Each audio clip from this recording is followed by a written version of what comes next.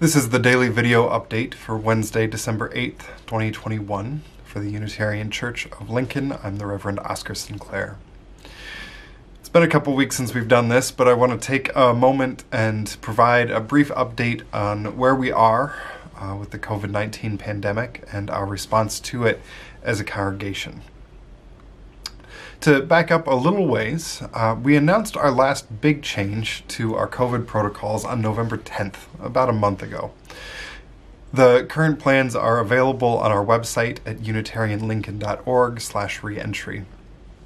And in that update, we started transitioning our reentry plan from an understanding of COVID 19 as a pandemic to uh, an endemic issue that we're going to have to live with for some time. The question is not how do we solve this thing, but how do we adapt our work at church to meet the ongoing needs of our context. What that means practically is that we said that we would try to keep the church building open as much as we can going forward with the condition that people wear masks and be vaccinated in order to participate in in person events. That's where we were a month ago, and that's still the current plan. So, right now, as of yesterday, the health department announced that we are in high orange on the COVID 19 risk dial. This graph is what the seven day rolling average of new COVID cases in Lancaster County looks like right now. So, as you can see, there's been a rolling increase over the last month or two, followed by a very sharp uptick over the last week. Now, our priority is to keep the church building open and to hold all of our December events with in person options.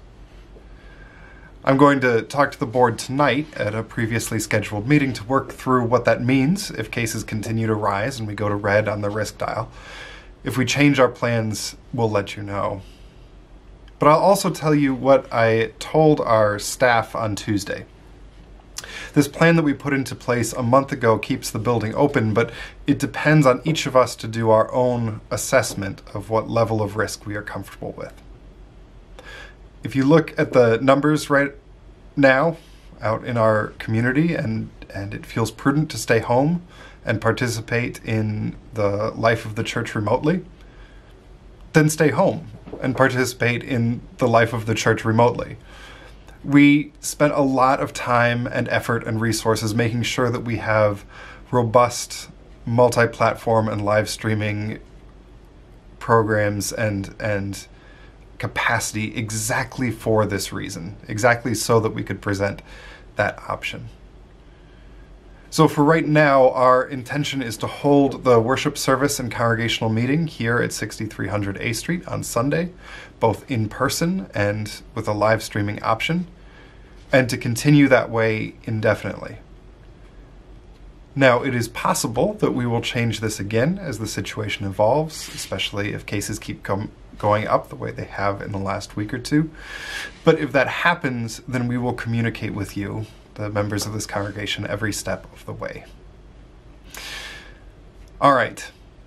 We'll put this uh, out on Facebook and uh, and through uh, as many channels as we can. We'll be back with a uh, regularly scheduled update tomorrow uh, and again on Friday. Until then, have a great afternoon, and I will see you soon.